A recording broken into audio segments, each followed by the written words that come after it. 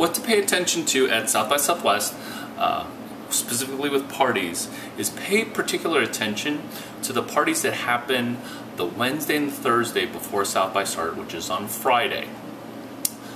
Locals and people that are in the know tend to get to South by Wednesday night and leave Saturday-ish. Or they're pros and they stay till Wednesday.